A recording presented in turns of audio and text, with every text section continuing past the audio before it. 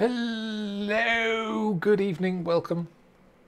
We're back, we're on, and it's Thursday evening, and where does the time go? Uh, yeah, I have had a day. Um, nothing works. You write something that generates C sharp code from XML schema, and which is not fun. Hey, Conficient, how's it going? Um, yeah, you generate some C sharp code from some XML schema, and then you you run it against the sample XML that the people who gave you the and then you find out that they're not doing the XML right, and so then you have to change your XML generator to make it cope with, or your, your C sharp generator to make it cope with XML that's not right.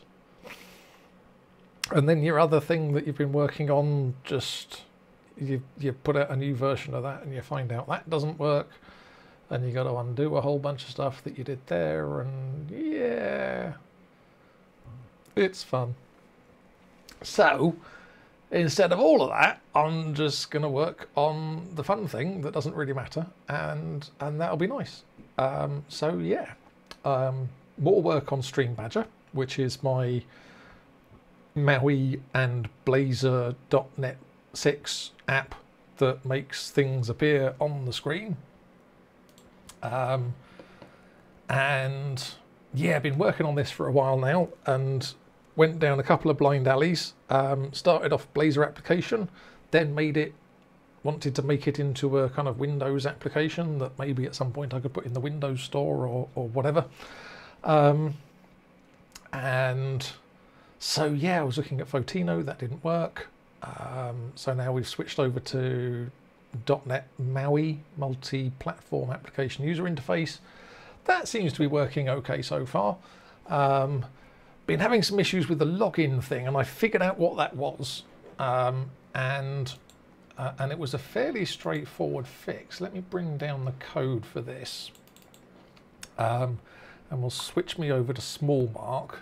Small mark's good, um, and yeah, so the flow for for authenticating is that you click the connect with Twitch button in your desktop application and it sends you to a page in the browser and then in the background it gets the um, the access token for Twitch so that it can connect with Twitch, which is good. Um, and so I had my, I've got my um, ASP.NET Core application here, um, and it's just set up with using the um, ASP.NET Contrib Twitch authentication thing. Um, and so we add Twitch in here and we've got this on creating ticket that copies the access token and the refresh token. And then in the controller here, um, it uh, it was going to this thing and it was doing this bit down here saying if it's authenticated, um, then uh, save the session data, otherwise don't. Okay, so why was that not working or why it worked, but then a little bit later it would not work. Um, and I figured it out. It's basically because the um, the the thing was getting written into the cookie that says the user's logged in in the browser. It's not running. Hang on a moment. Let me run it.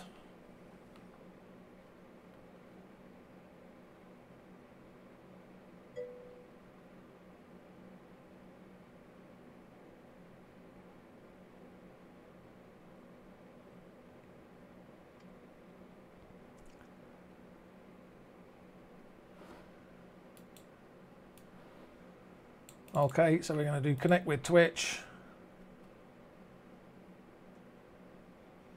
And there we go. And now it's logged in. Right, try it again, Des. Oh no, wait, wait, wait. Don't try it again. Let's do that and then we'll turn it on. Right, now try it again. Oh, hi, Mark. Yay! There we go. At some point, I'm going to have to get to a thing where um, I have this running and then the development version runs on a different port or something so that I can work on it but have it running on my thing and go, hey, Perry. Um, at some point, Disney are going to make me stop doing that as well. But yes, it works. It worked. It works out of the box, and I'm I'm super happy. Um, yep, there you go. You see, there's Perry, and then I can press my clear button, and that goes away, and I can do the boom, and that happens, and all this sort of yes. Um, so yeah, no, it is. Um, it's it's working, working. Um, so the things things that are not working. That that's not working. That's definitely that's definitely not working. And so that's what we're going to put back in today. Um, also, we're going to figure out why the connect with Twitch button just disappears off the side there like that, because that should appear in there, but we'll we'll figure that out. That's not a problem.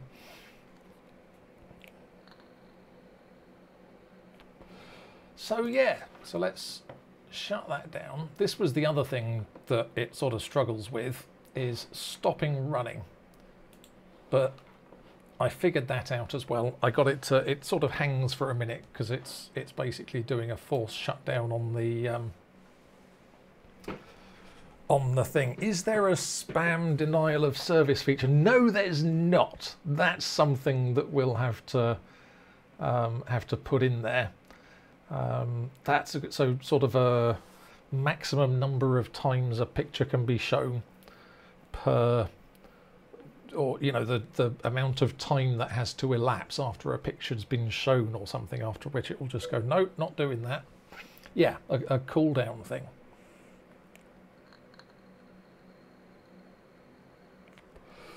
So yeah. Um, and we'll worry about getting the the chat thing. Um, the not the chat, the rewards thing, the the stickers bit, where you can spend your stickers and do like the the sad trombone sound and all that sort of thing. Um, but yes, it is it is going to a very good place. I'm I'm really quite happy with this because um, all the ones of these that I know of run um, in the cloud. I think there is one that's that's desktop based, but the majority of them run in the cloud.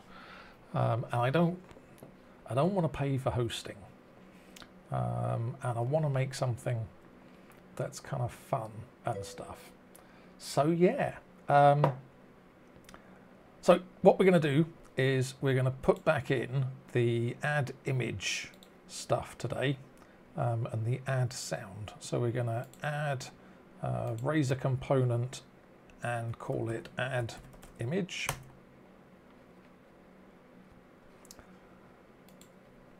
And then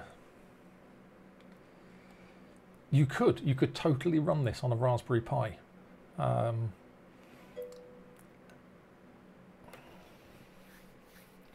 so I'm gonna go with, ooh, I reckon it would be possible to get it to run on a Raspberry Pi. That would be a, would that be a Raspberry Pi running? If you can get Raspberry Pi running Windows on ARM, and you could get a touch screen on there, um, then you kind of make that into a whole thing. Um, yeah, we'll think about that later. So we go at page slash add image. And then let's go, I've got my old Stream Badger stuff here. Let's go and grab all of this and we'll just bring it in and we'll paste it in here.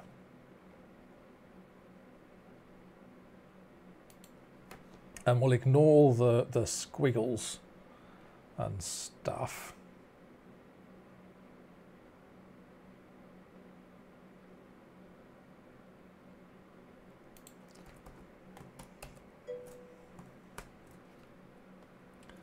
Um, but yeah, the fun thing is is getting it getting a build to run on Linux potentially.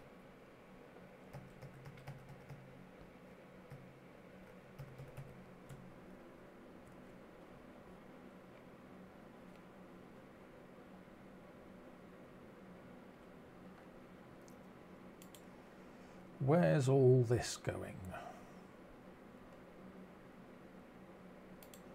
Right, so that's going there.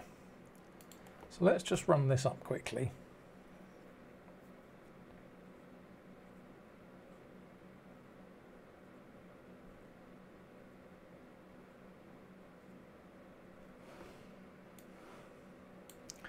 And then we go to add it, and there you go. So we've got choose file, and then we can go to 10%. See, there you go. That's, that's the way we like it. Um, and then we can say padding dash top colon 25%, like that.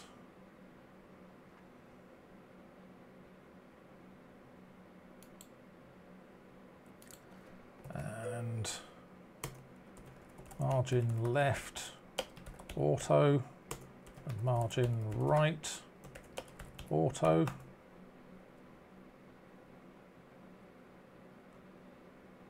No.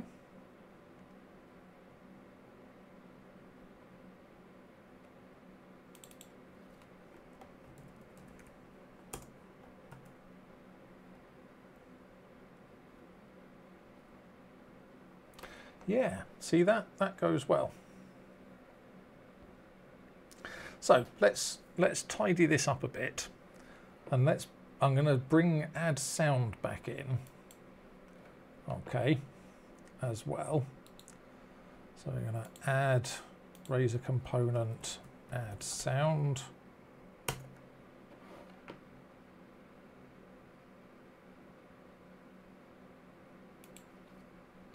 And I don't seem to have implemented that at all yet.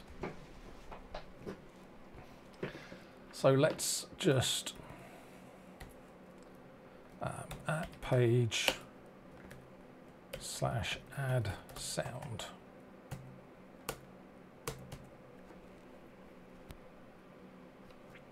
And then we'll have a div class equals container fluid. And then we'll have a div dot row. Doesn't work in here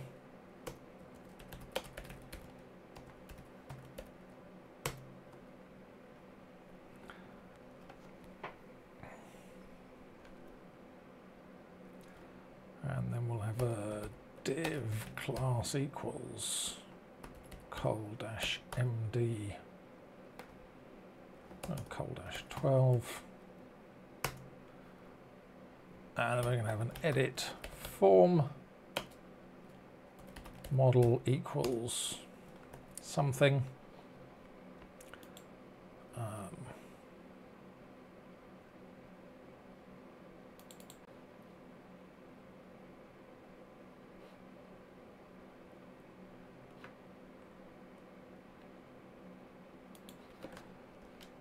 Do you exist anywhere? Yes, you do. Um, where are you? Upload sound model. So we're going to have name and we're also going to have prop int volume. Okay. And then we're going to have public add upload sound model.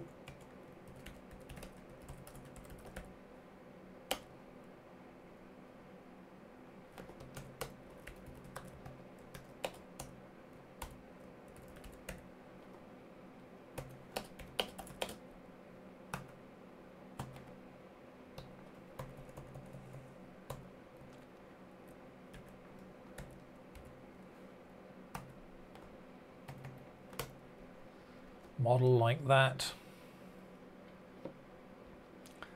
And then add image. So we had this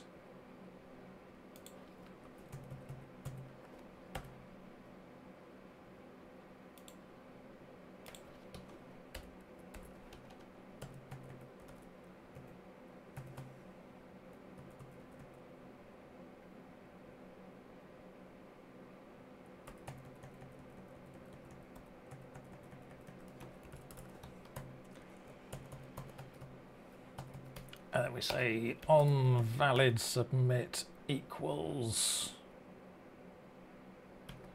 submit sound like that and class equals form for bootstrap.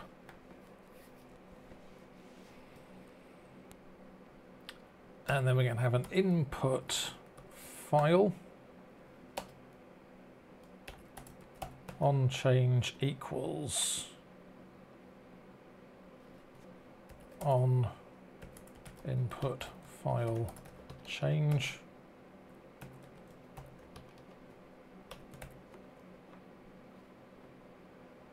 And then let's go and grab this code from over here.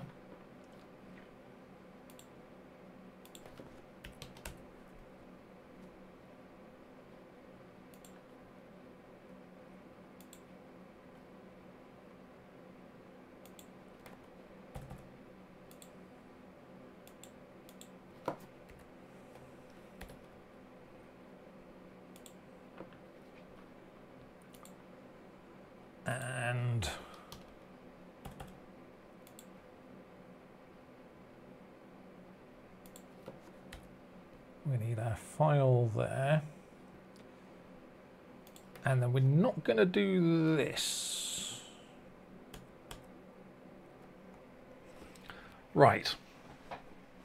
So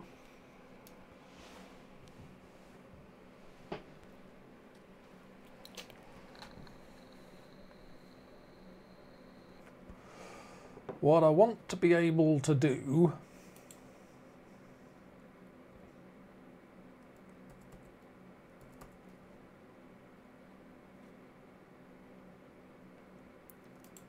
is change the volume of this sound.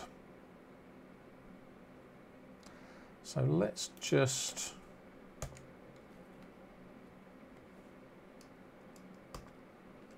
we'll run this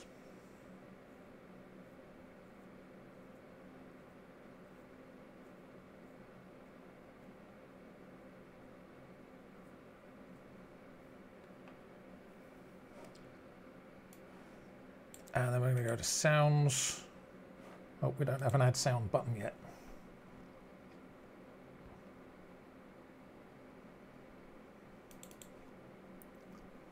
Uh, sound list, image list.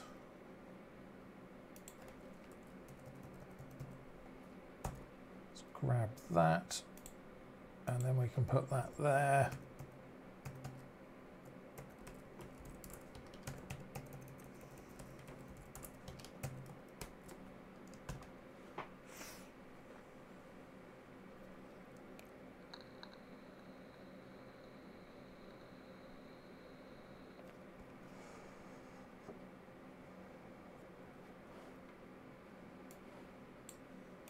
sounds, add sound,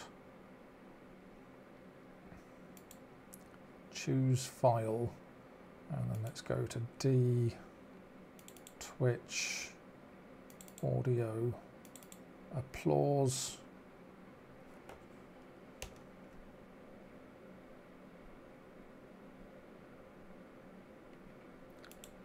So what's in here?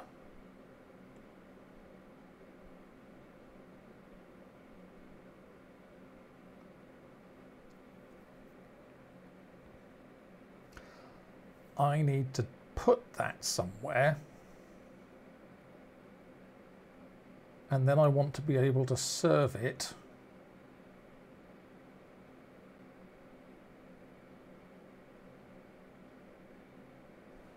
from the application because what I want to be able to do is have a, a sort of a preview sound thing in here.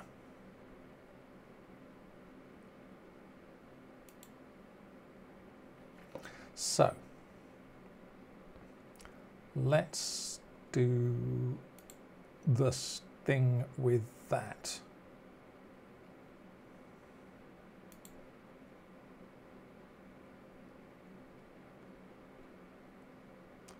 Um, so sound store.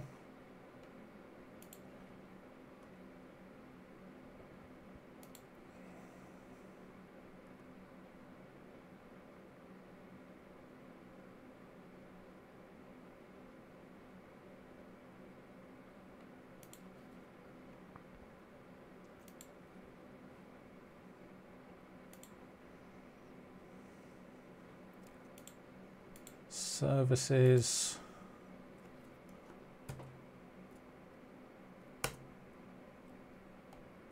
Um,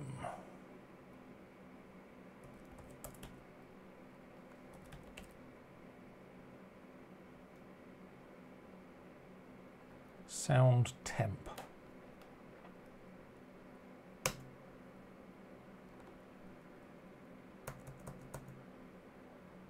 Why would you put it in there? Put it in Stream Badger.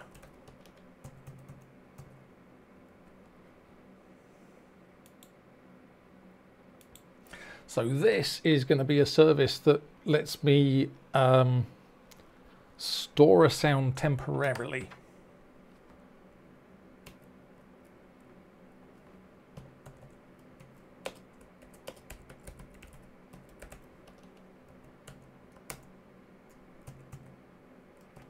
So we are going to um, have a public add sound. Inject sound temp.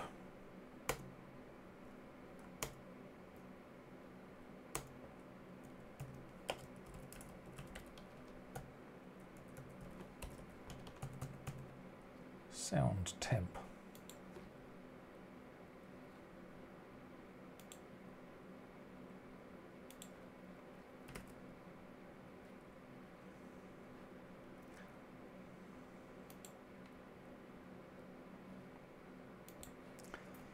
And then we're going to have public async task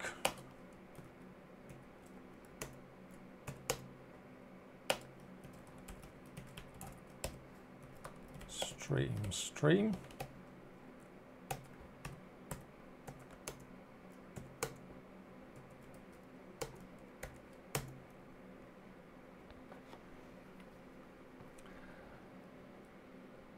And then we're going to say, um,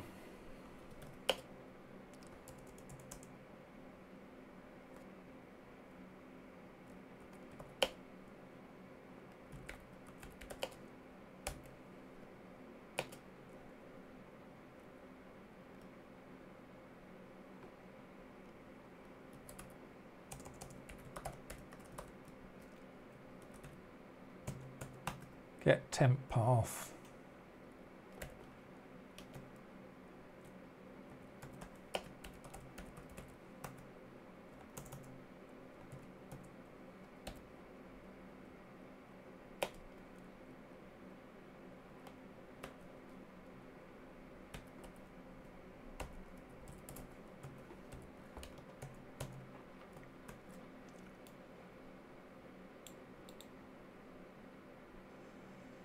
Ugh. I wish Visual Studio would just add close tabs to the right.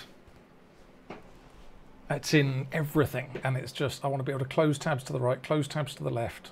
Um, that's one of the nicest things in code and Rider and, and all the other IDEs. And you just kind of like, just how difficult is it? Come on, put it in.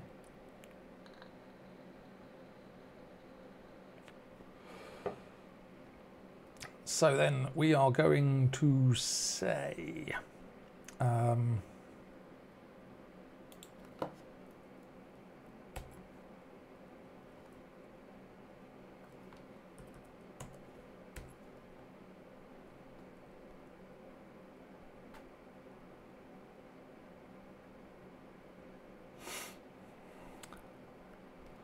underscore sound temp dot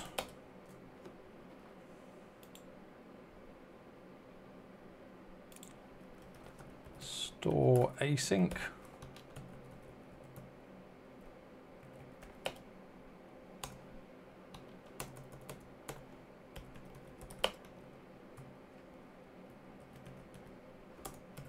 stream like that.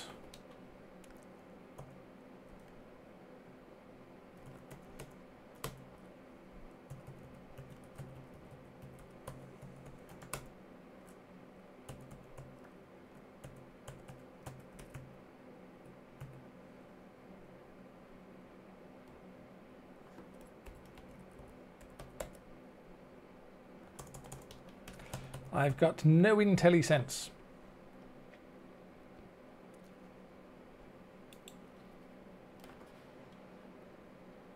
Right, I'm just going to have to run this again just to get the IntelliSense out of it. Oh, lordy.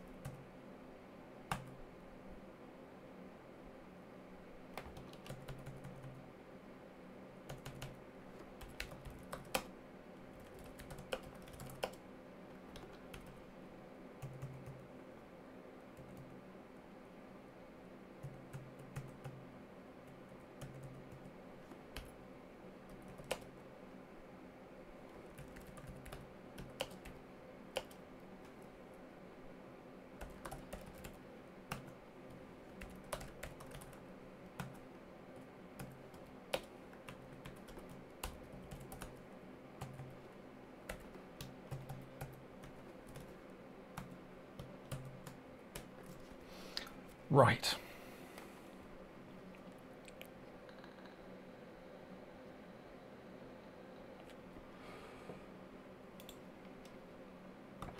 Let's check the help on this.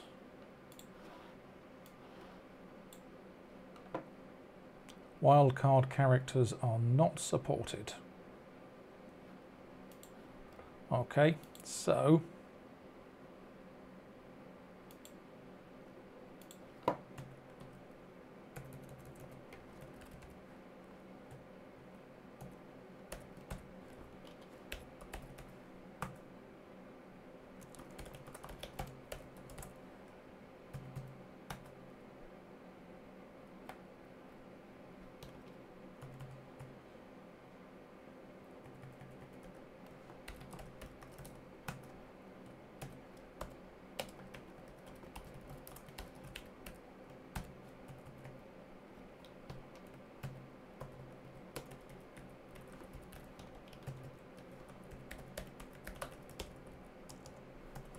clean up after ourselves. Don't want to leave temp files lying around the place.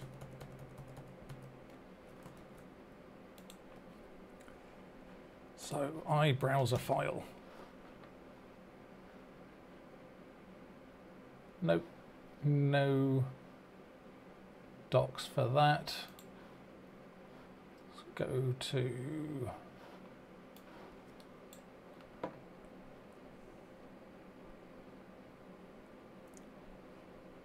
.NET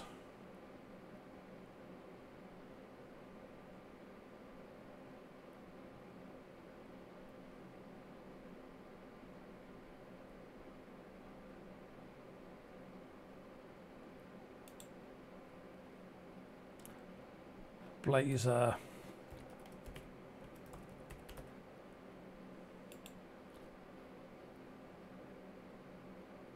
There we go.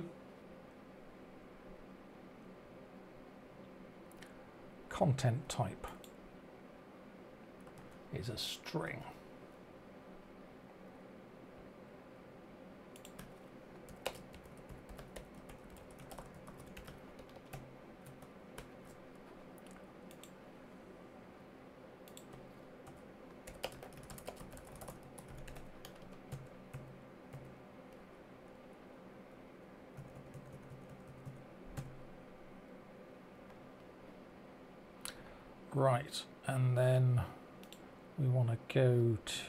Let's go into shared and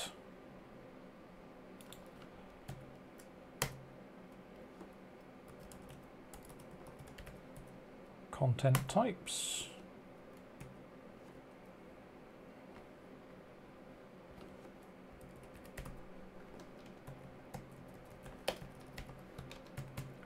want to be able to get the sort of canonical extension for the different um, content types. So audio, mime types,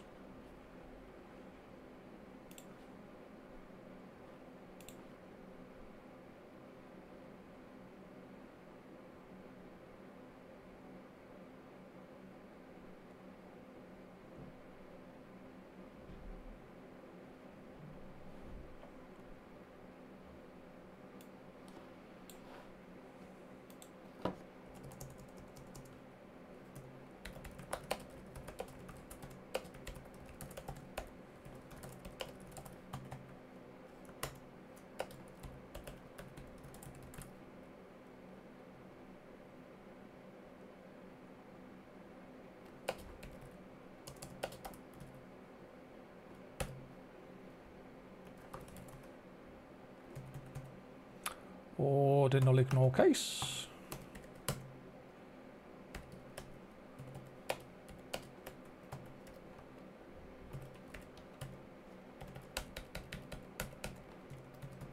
And then let's have, so we'll do uh, audio slash MPEG um, audio slash and audio slash MP3. No, audio slash WAV. Let's just support those to start off with. And that's going to be MP3, and that's going to be OGG, and that's going to be WAV.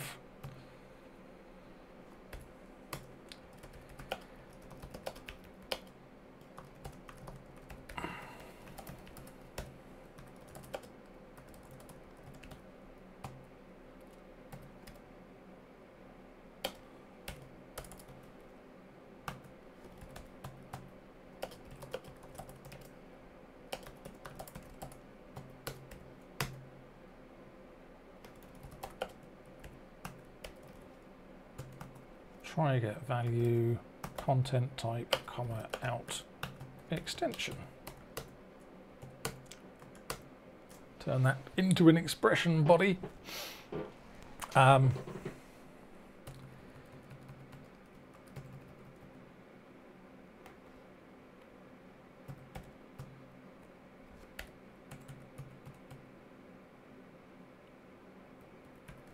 to content type call this one content type to file extension.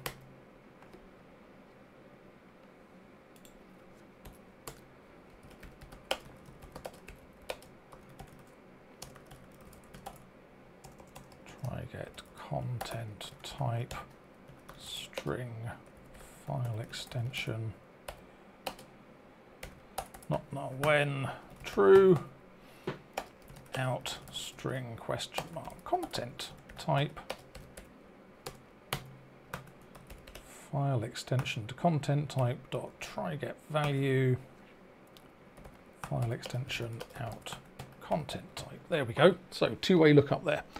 Um, so if anyone's kind of new to hasn't done much with C sharp 9 or C sharp 8 um, a, we introduced this thing with nullable annotations. So if we go into the project code here and edit the project file. Um, so we do nullable now to say this thing could potentially return null, but you can use this attribute that tells the C-sharp null checker um, that it's it's not if this method returns true, then this will not be null, and so you don't need to check it for null, which is kind of handy.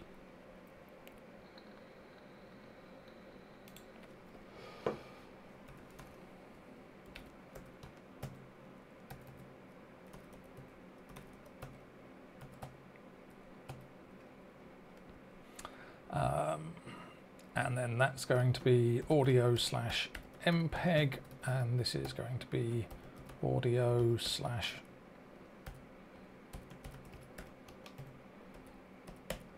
an audio WAV, like that. Okay. And on the file extension, we're just going to do trim start dot to take off the um, leading dot if it has it. So then in here, we're going to say if um,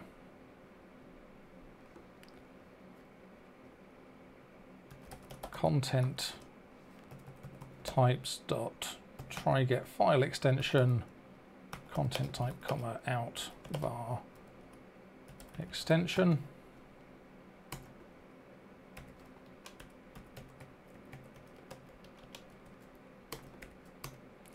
we're just going to say extension equals mp mp3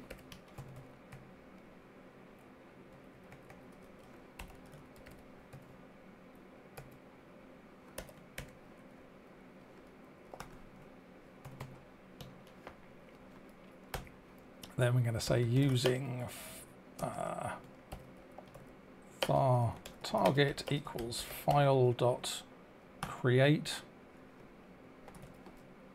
temp file and await stream dot copy to async target make that an await using make that a using declaration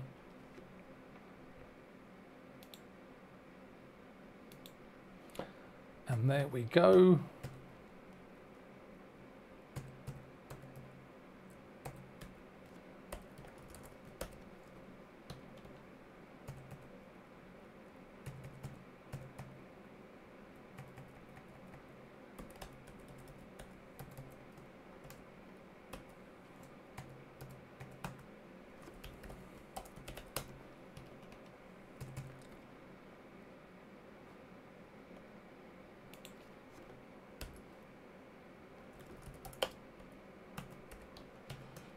Just going to return that file name back out of there like that.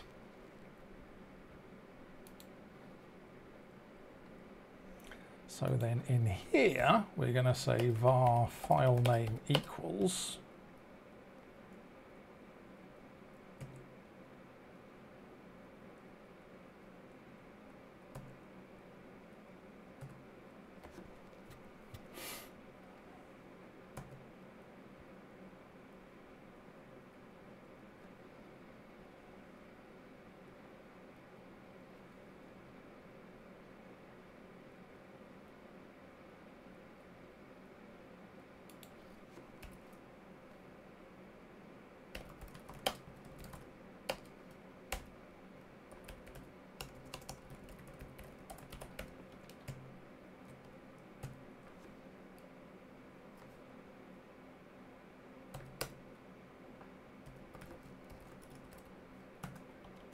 temp file name is going to be set to whatever that is. And then in here, we're going to put an at if underscore temp file name is length greater than zero. And then we're going to put an audio element in there like that. And if we jump into overlay here, overlay sound,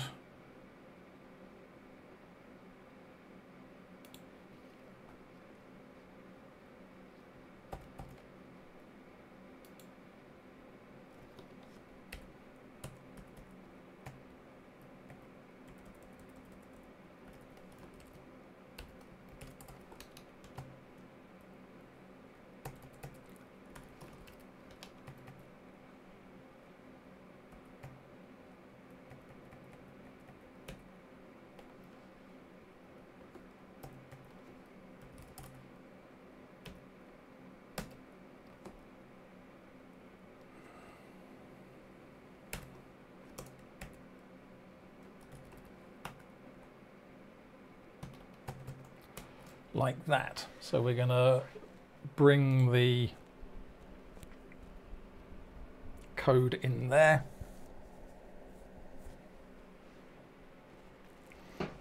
Like that. What about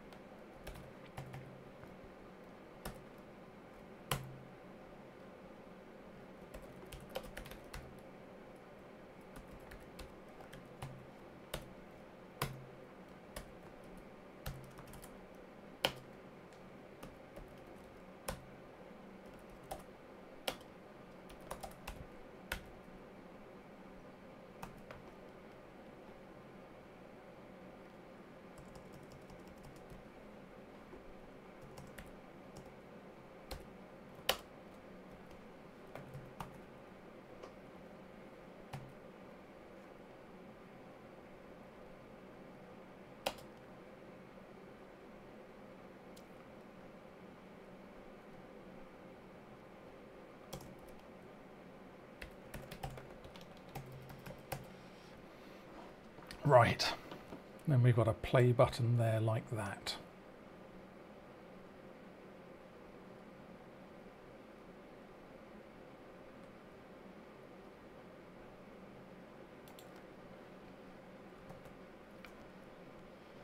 Um,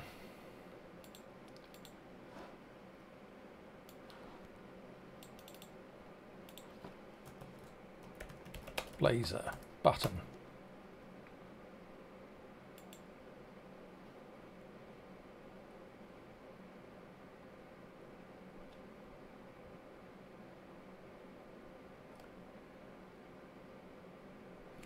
At on click equals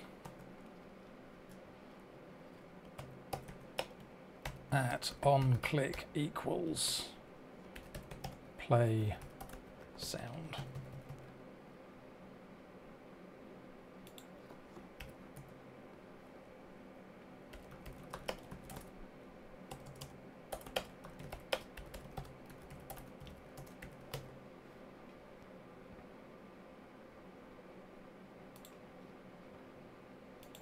That's going to do something down here.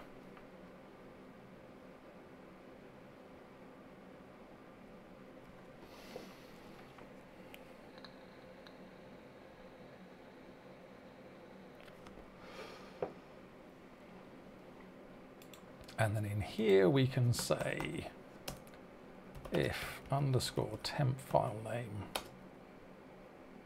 is null, return because we don't want to do nothing. And then in here, we're going to do await.js invoke void async play sound thing there.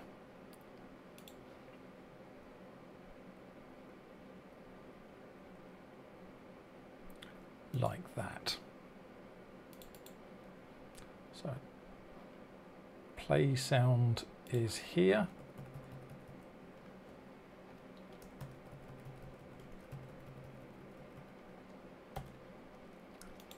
And then that's going to go into the Stream Badger pages no, index.html and we're going to stick it in there like that.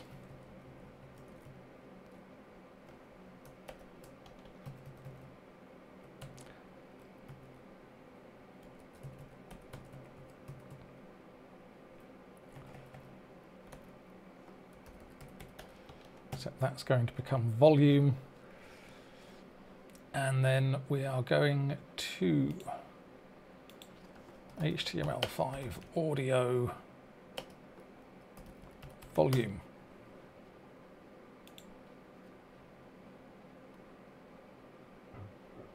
is between naught and 1, I'm guessing.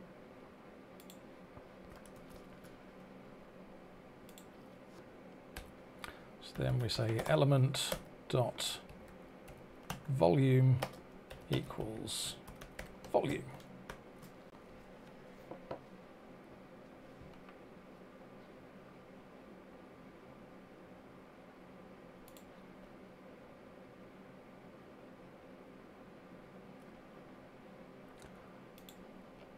So then we inject JS runtime.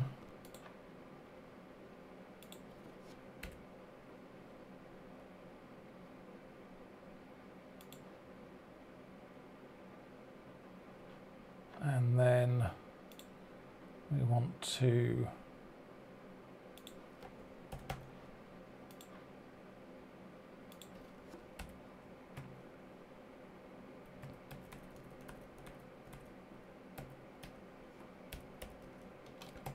Let's put 0.1 in there for the time being.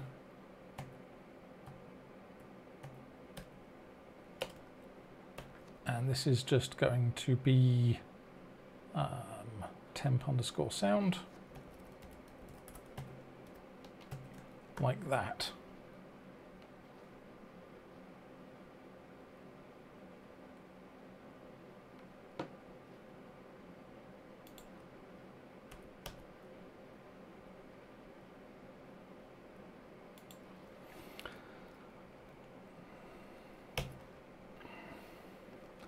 And then we can say await invoke async state has changed like that.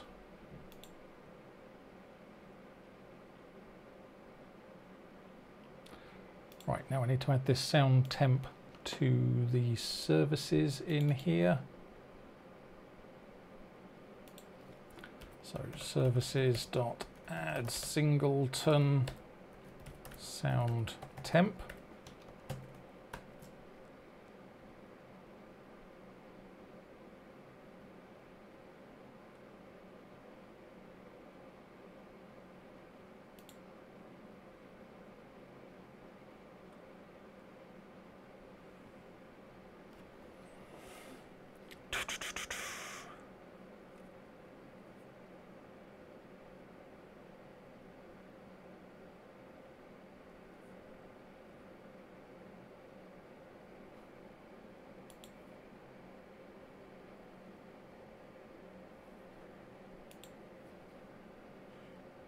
Add Blazor web view.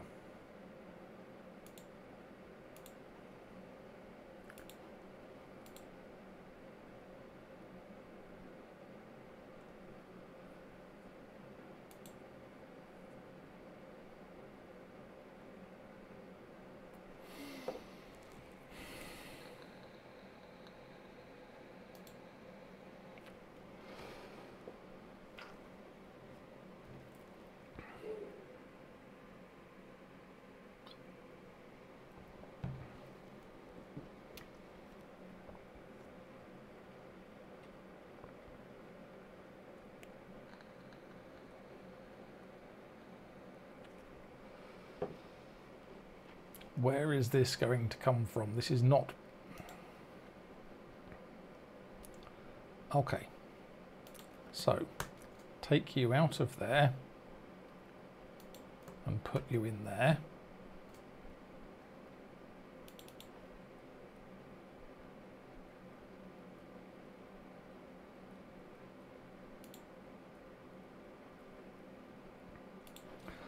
And then we're going to do public async uh, task.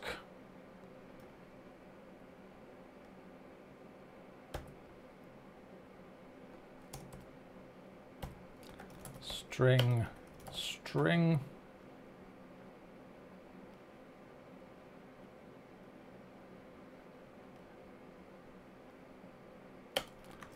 Get path. String. Name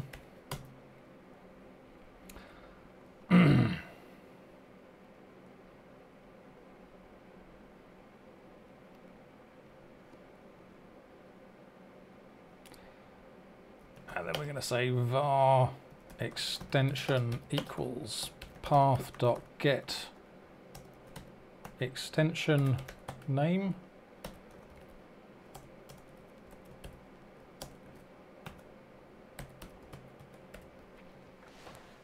Do that.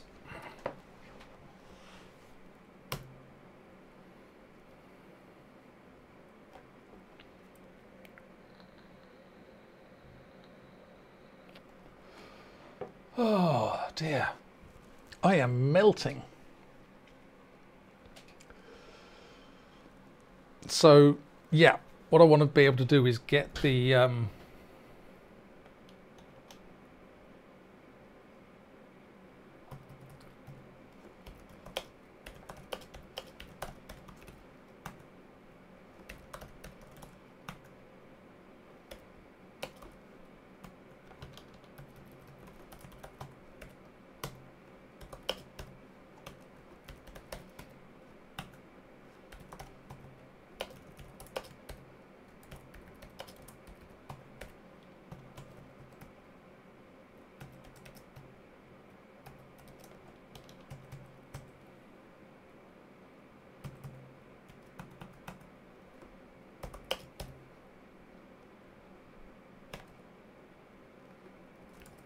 content types dot try get content type extension come out var content type content type equals audio slash mpeg yeah. And then return path content type like that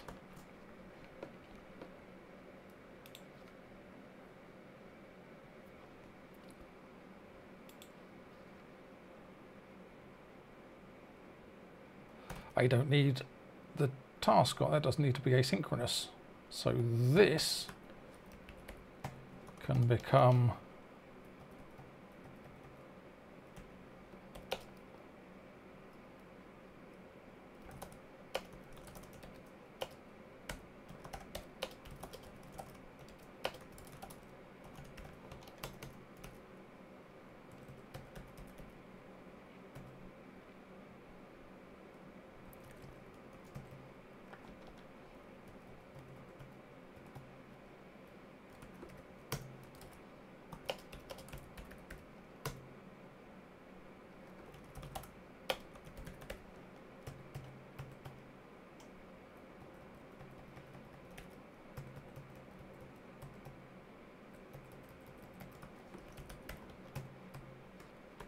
Okay, so that goes in there like that as well.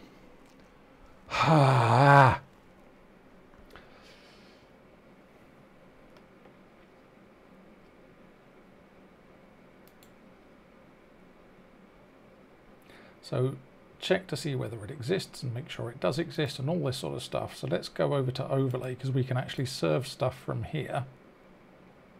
Um, let's go into endpoints. And let's go into, let's create a new class and call it temp sounds.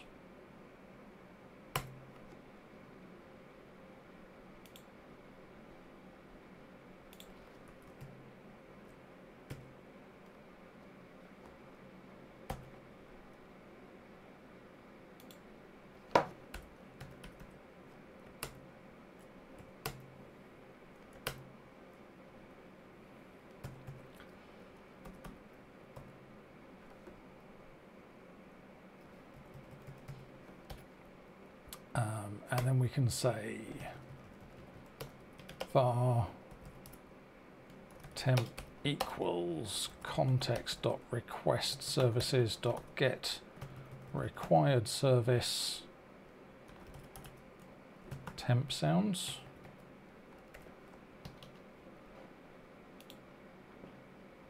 No sound temp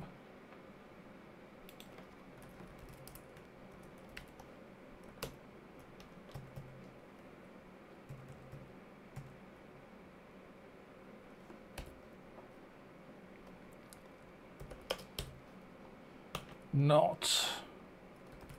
Sound temp dot try get path sound comma out var path out var content type.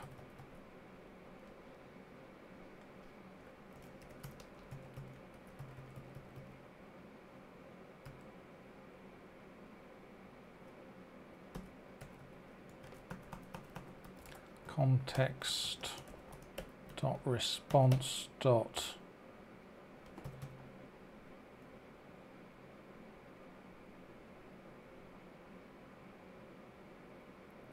send file async.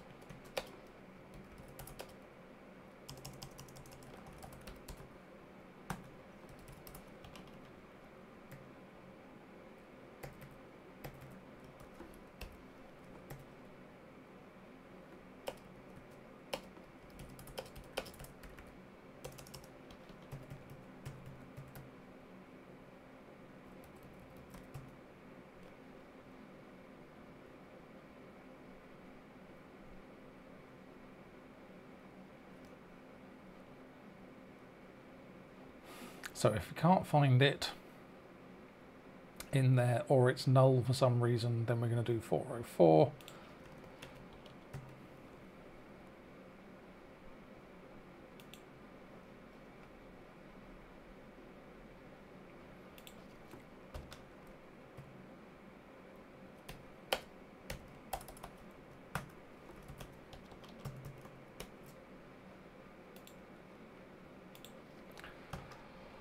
What does this do?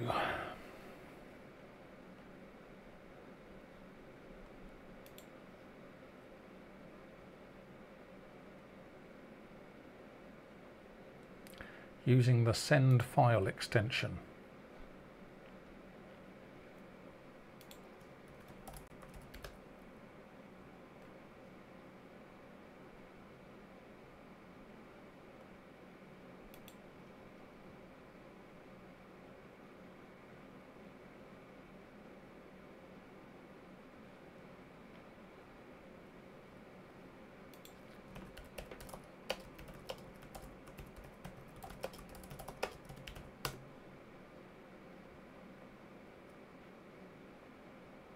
Ah, there we go.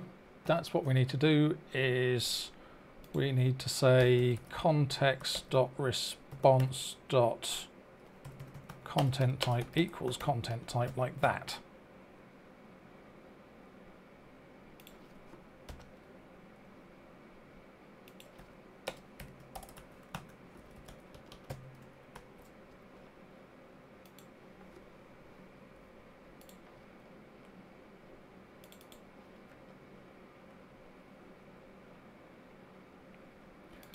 So we're going to say services dot add singleton sound temp.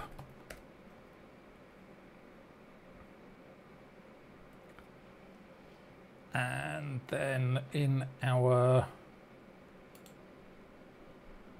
add sound page here, slash temp slash sounds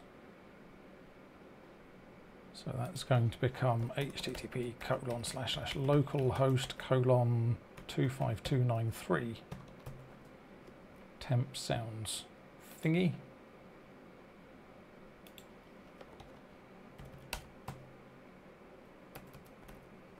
temp slash sounds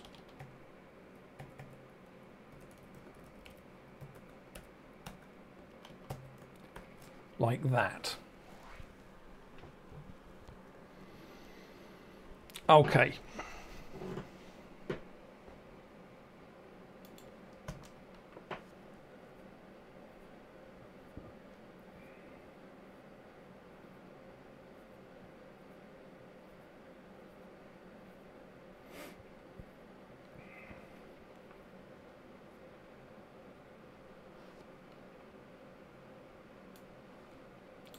So, sounds, add sound choose file.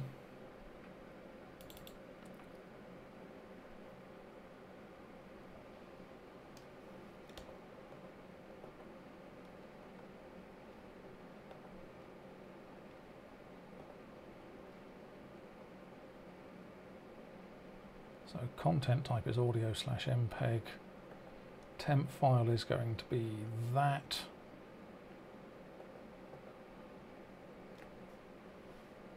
That's going to be that.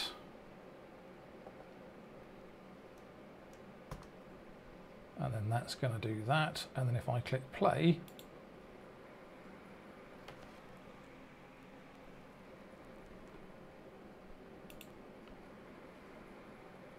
it worked. I can't believe that worked.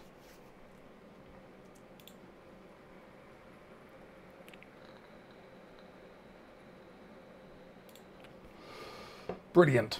So then the only thing left to do then is um, go into add sound here.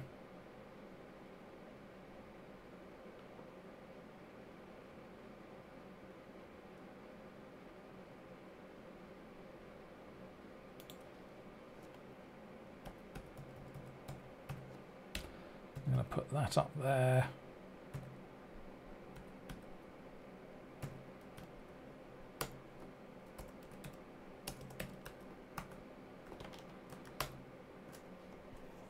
Like that.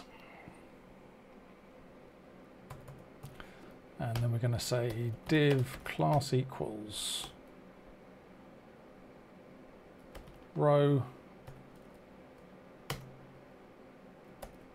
div class equals col dash 6 and then input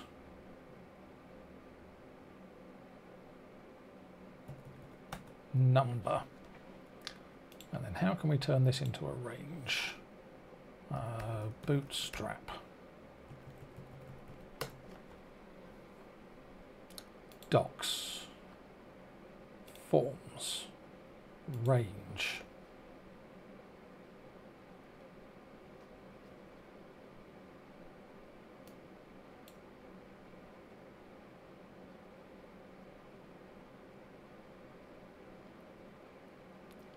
Use our custom range inputs for consistent cross-browser styling.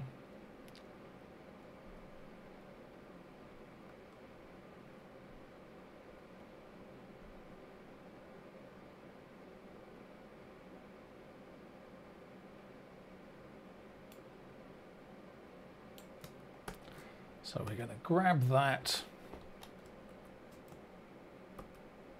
and we're going to put that in there like that.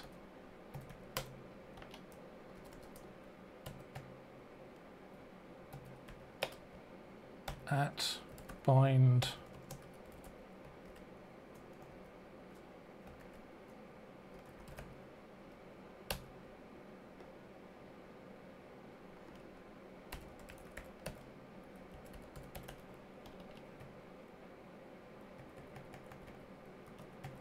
Naught to one step is going to be that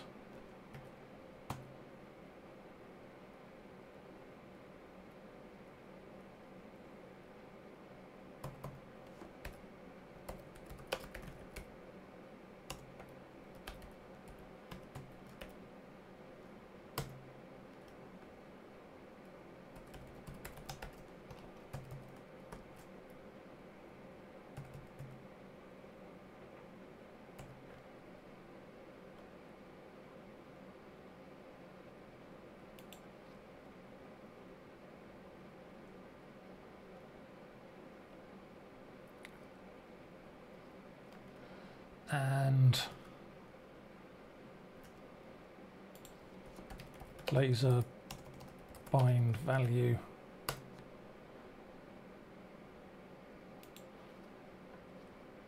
Bind dash value equals that. Bind dash value colon event equals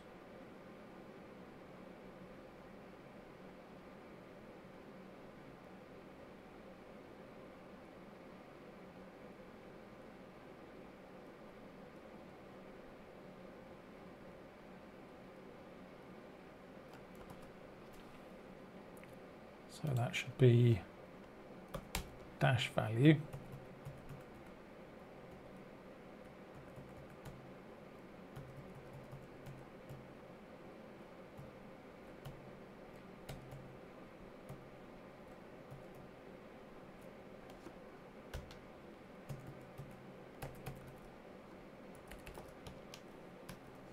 make that a float and we'll set it to 1 by default.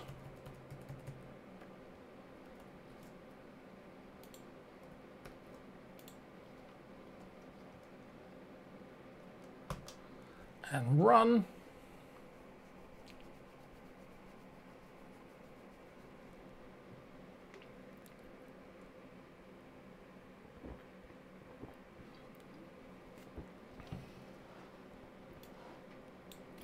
Sounds, add sound. Choose file.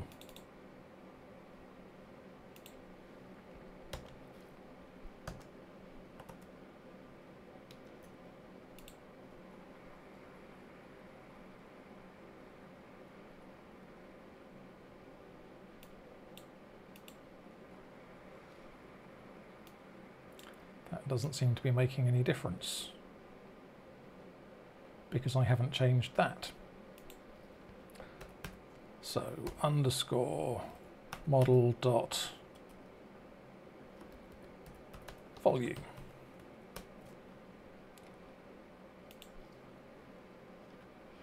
And let's just jump back up here. I'm going to make that a col 2 and run that because as it was, this was like super loud. This was way too loud.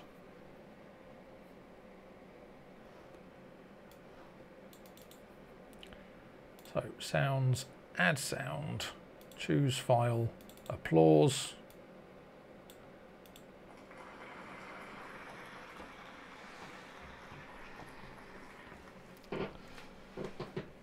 Because yeah, that was I'm not going to do it that way. Yeah. Really super loud. Um, sorry, you can't hear that, can you? Let me do this and then... Um, there you go. See, it's playing.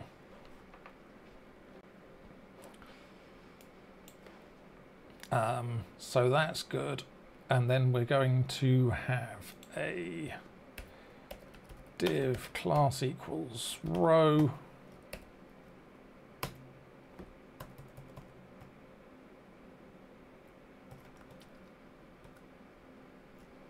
Let's just jump back to here.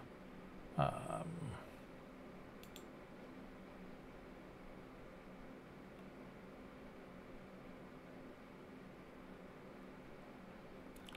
Need to put class form control on here.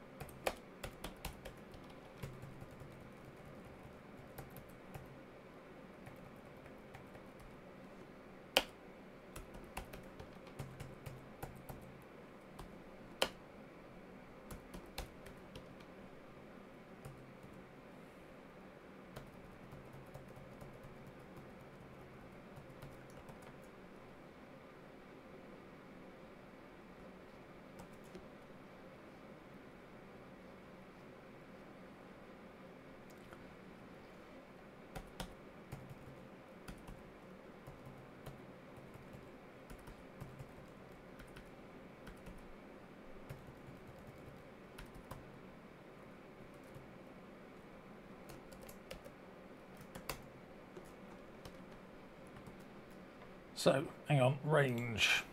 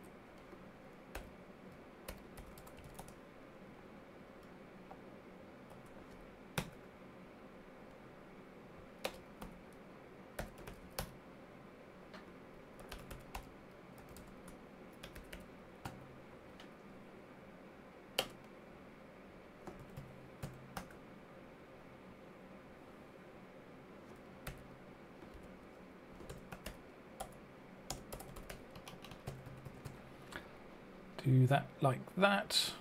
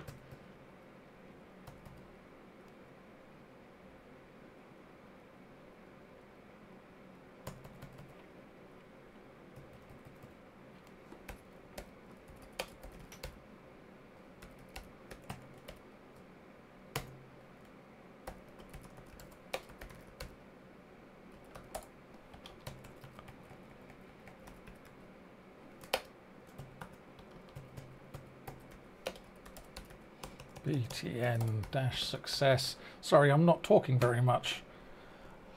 Oh, finding it hard to chat while I do this.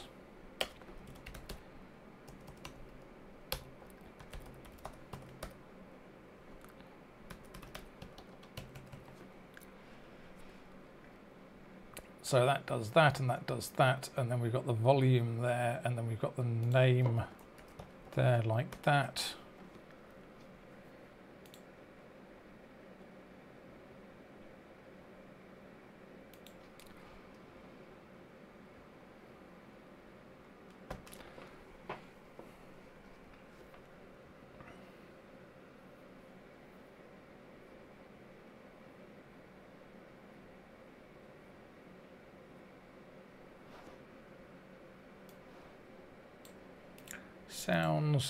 Add sound. Oh.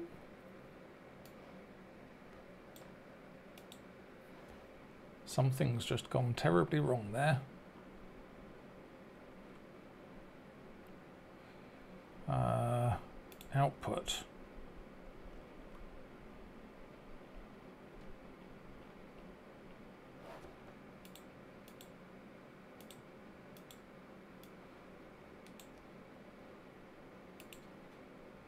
Ooh.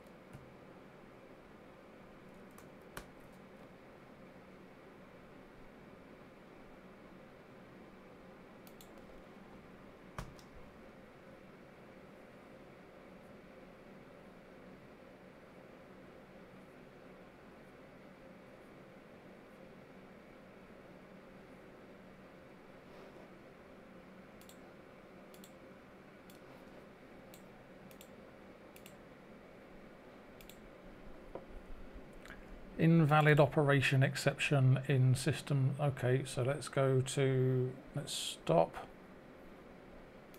debug.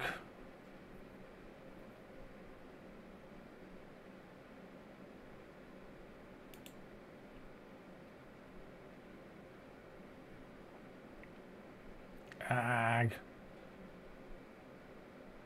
Exception settings. Invalid. Operation exception. And run.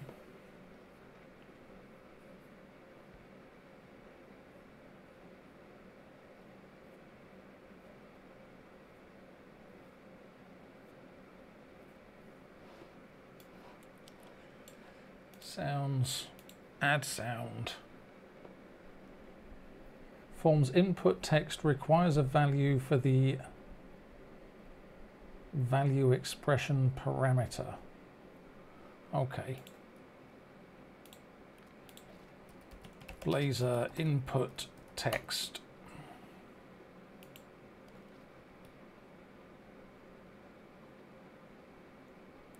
At bind dash value. Okay.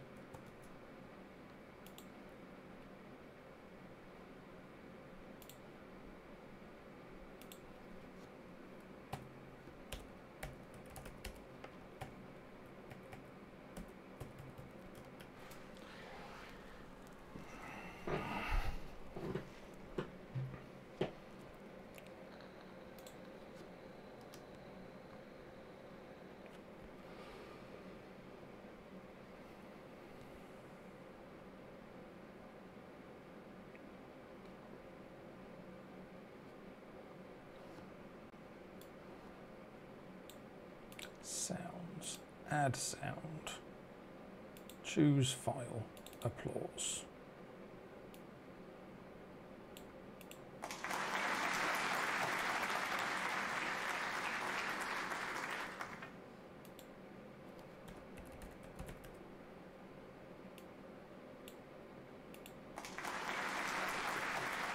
That's what we want. Um, so that's good.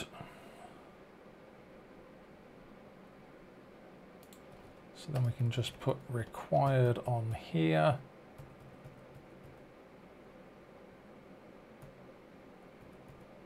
And required on here.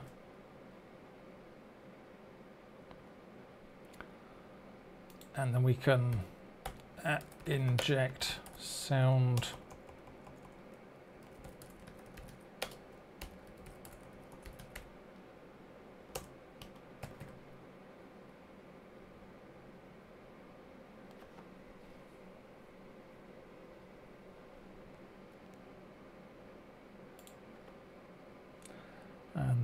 let's go and find sound store in here. And this is going to be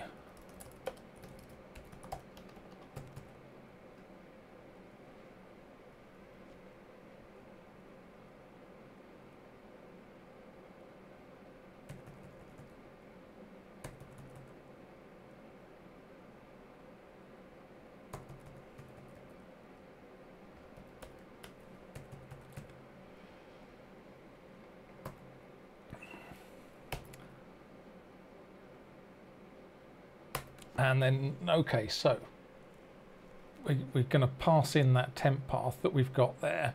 So we're going to say, um,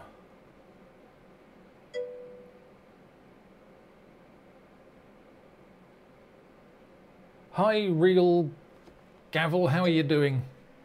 How long have I been coding for my life? Um, so I've been coding professionally since 1989. So 32 years, which is a nice round number. Um, I wrote my first ever code in my entire life when I was nine years old, which was 30, 39 years ago. Um, yeah, back in 1982, I got a Sinclair ZX81 um, which was a one of the first ever computers that you could buy in the UK just to use at home. Um, the ZX81, yeah, you can ask me anything you like. That's what the chat is there for. Please just, yeah, go for it.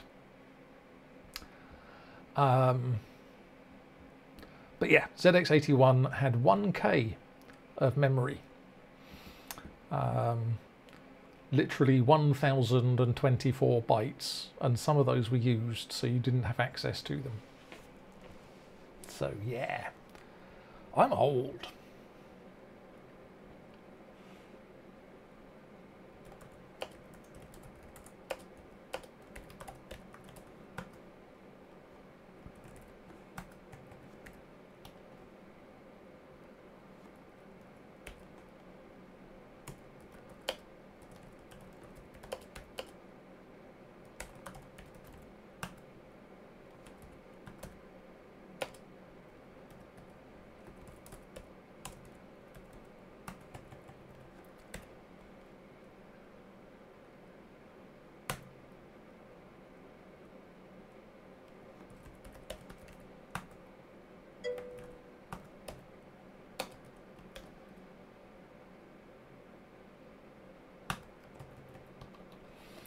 So I want to start learning coding, but I found out about this GPT-3 AI thing. Oh yeah, um, that you tell it in English, make me a to-do list, and it makes. And I was worried that will that automate coding because I really love coding and I want to do this for the rest of my life, but I am afraid of this new AI that will come in the future. That's an extremely good question. Um, so I'm guessing you're kind of uh, high school age or. Um, certainly at the start of your career rather than, yeah, 17 years old. Um,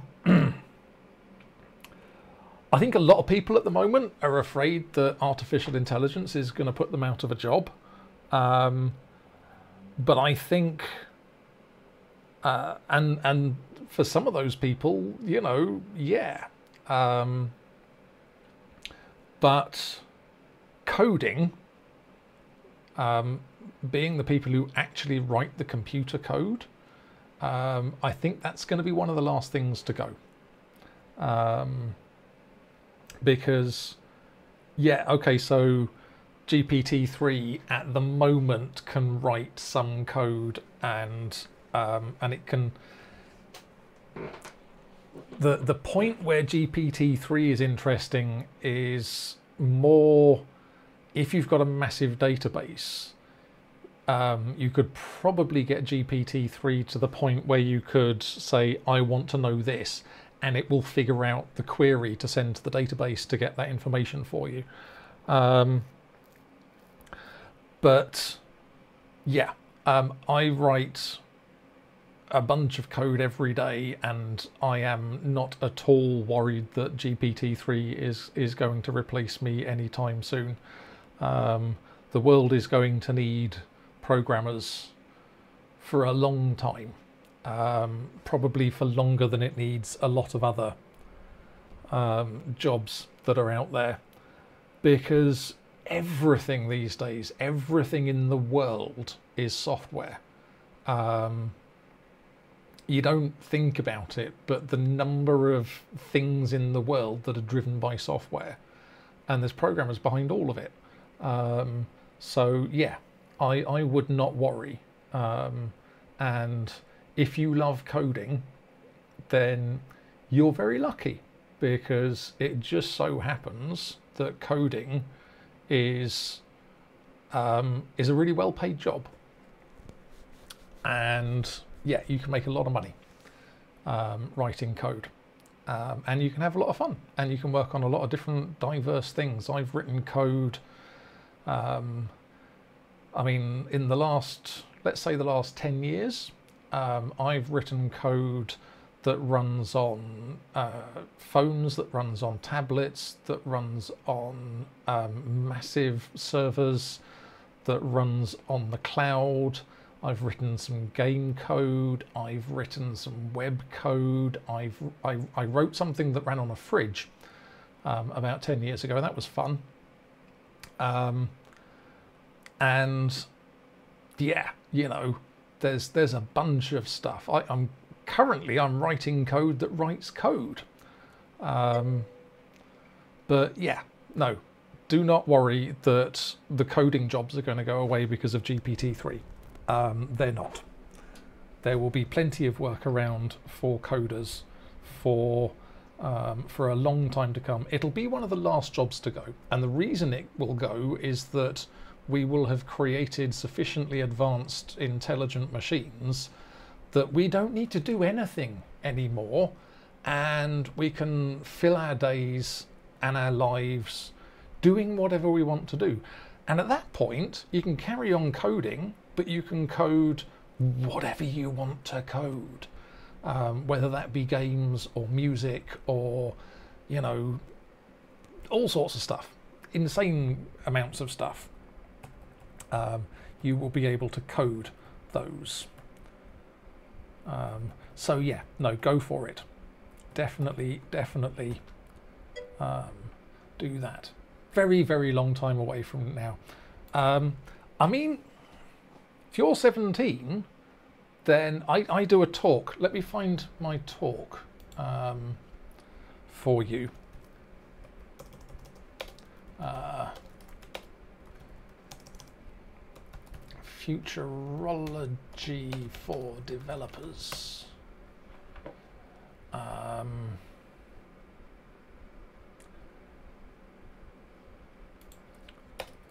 build stuff.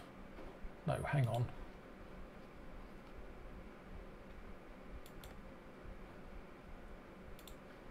Here you go. So here's a talk I gave at a conference.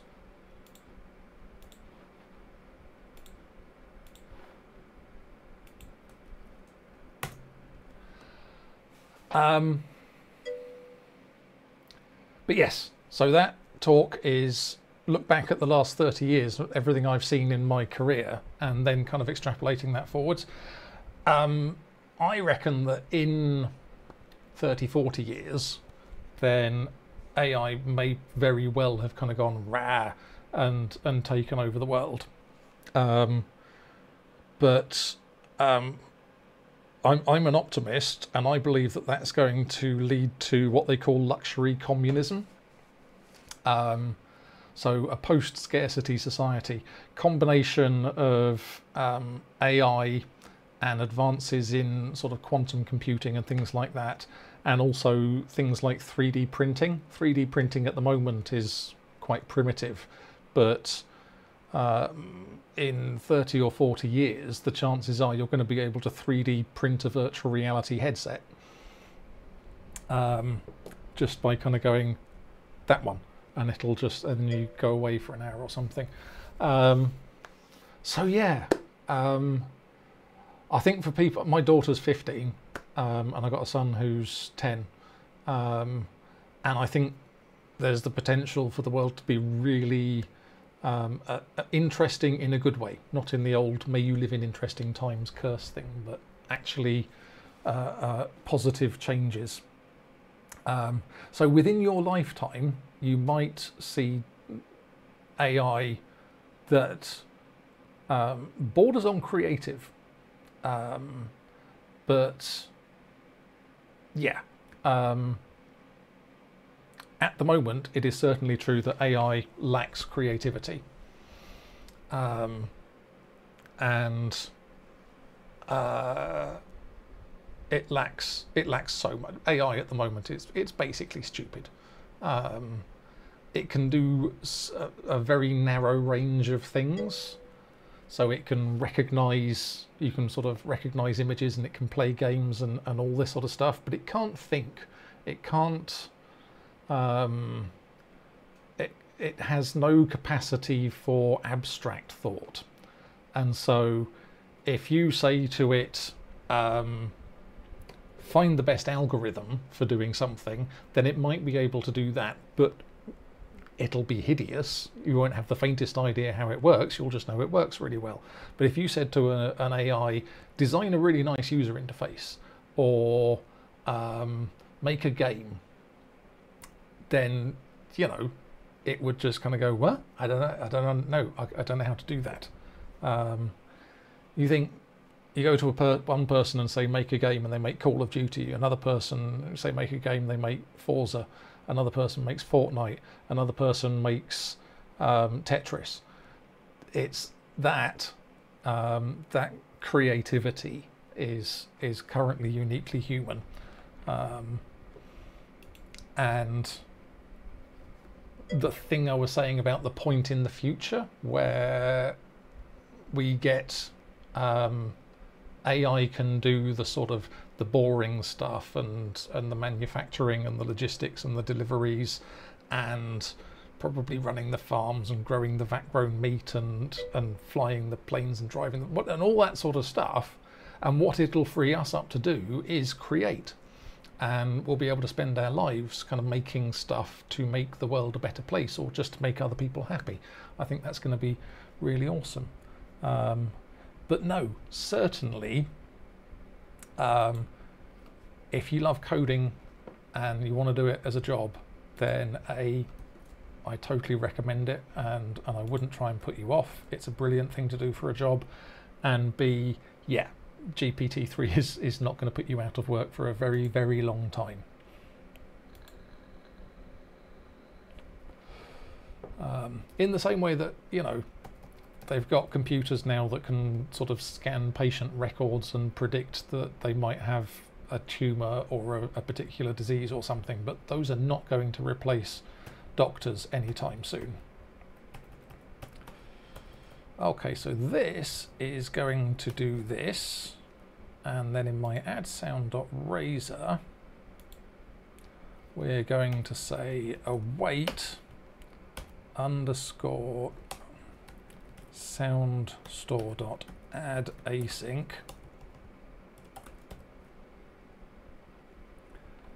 um, temp path and model. Temp file name.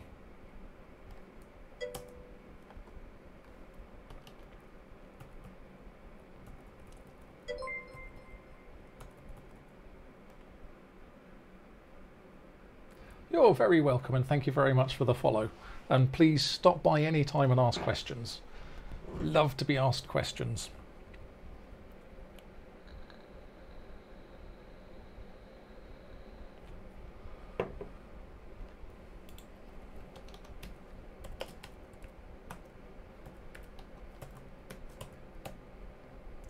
Right, let's see if this works.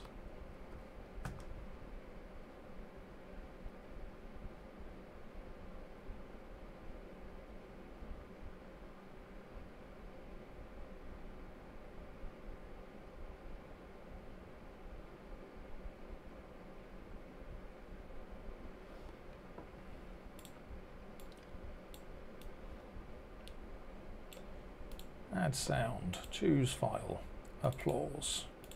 Call it applause.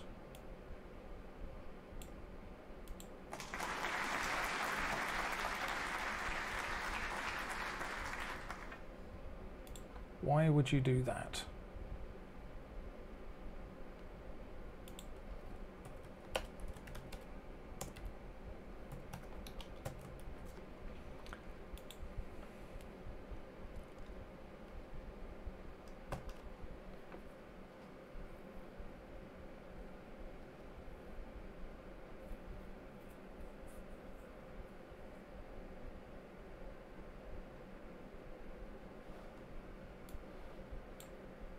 Sounds, add sound, choose file, applause. Do that.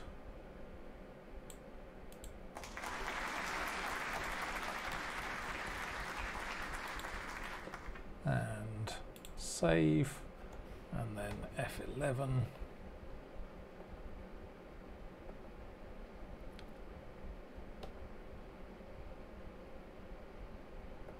Target file is that. Copy that. Oh.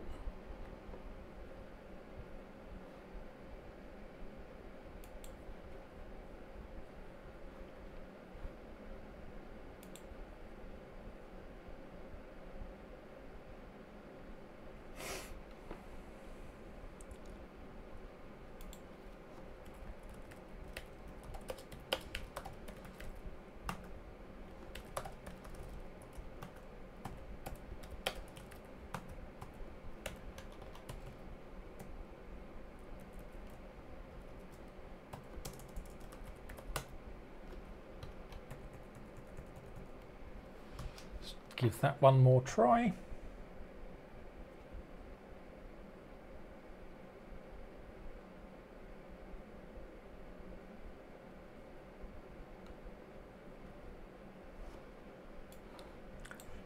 sounds, add sound, choose file, applause, call it applause, set the volume to 50%, save, step into there. So temp file is that and target file is that.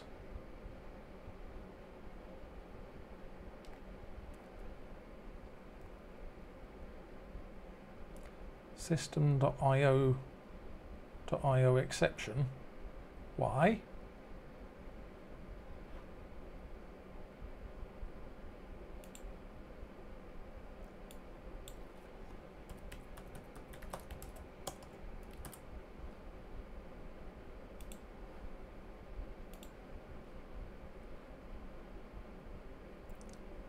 Already exists.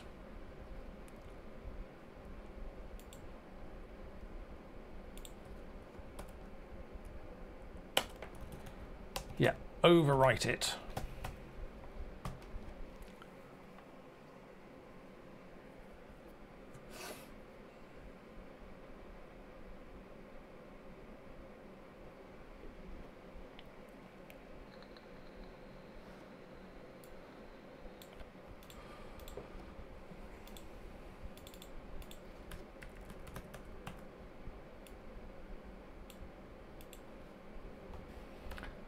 step into there.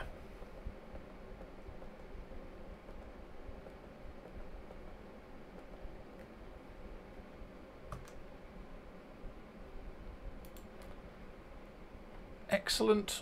And then we just want to go up to here and we want to say at inject navigation manager navigation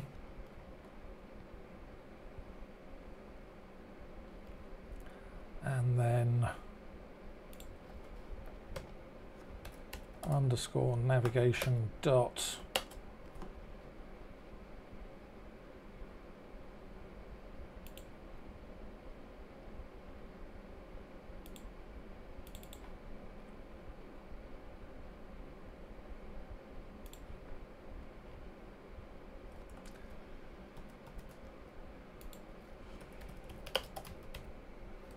Blazor Navigation Manager.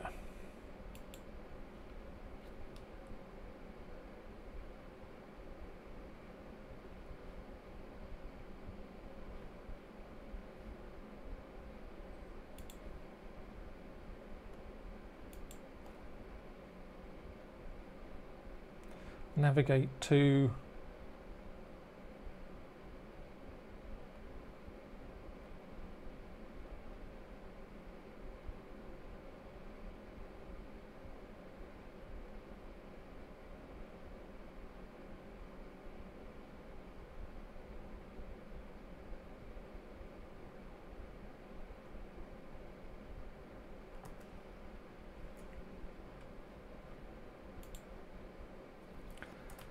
navigate to slash like that.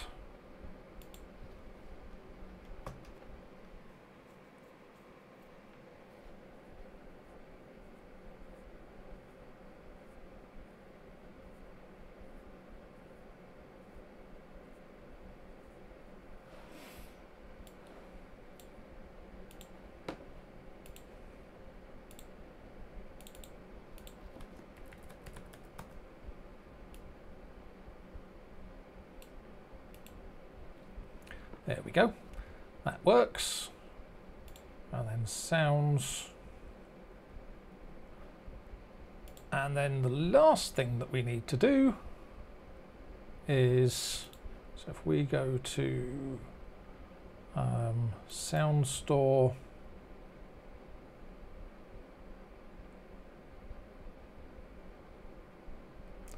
and we do get sound,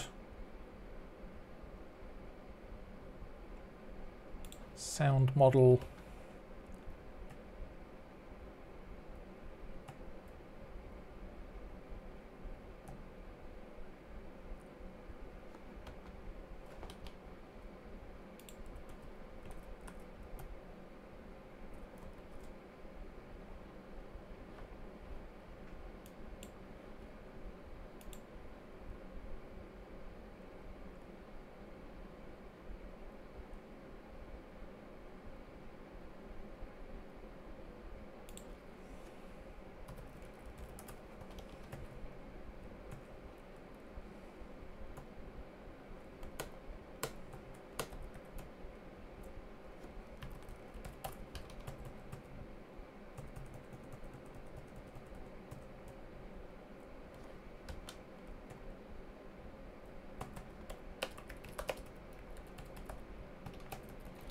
And we're going to pass in volume there like that.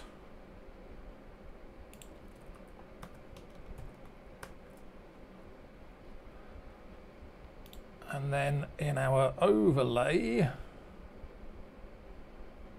we've got our overlay sound.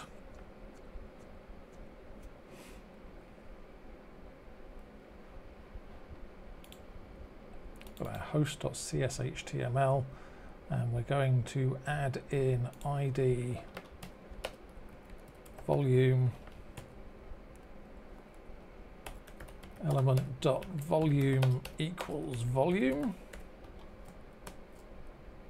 I think that's right. Yep.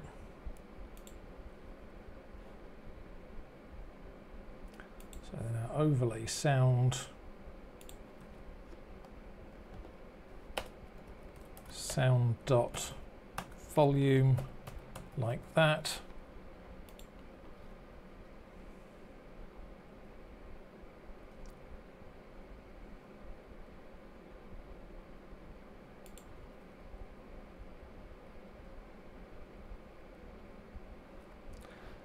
And we're just going to go to my users directory, users, mark, app data, roaming, um,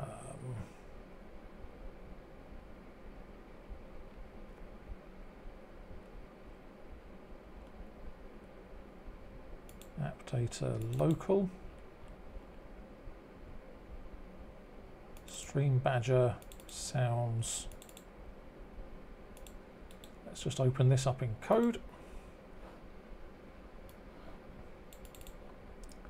So in applause here in info.json we've got name is applause and volume is 0.5 and in here we got that and we're going to say volume colon 1 and save that like that.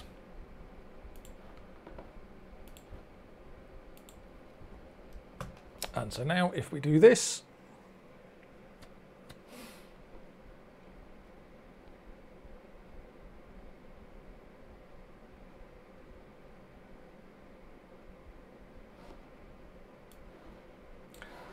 and then we go back to OBS and we refresh our overlay and make it visible and then we go to sounds and we play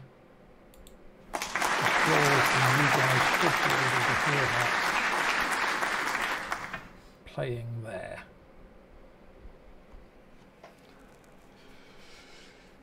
All right. Okay. Excellent. That's that's gone really well. Things have worked, and we can go, well, hey, Perry, and um, and boom, and Perry, and and do things like that. Um, and we'll figure out more stuff about that um, soon.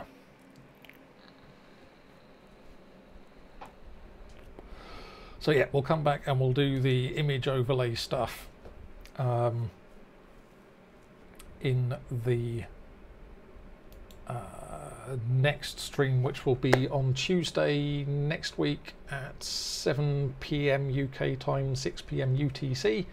Um, thanks everyone for stopping by. Um, enjoy the rest of your evening, enjoy your weekends, and I will see you again next week. Take care. Cheers. Bye.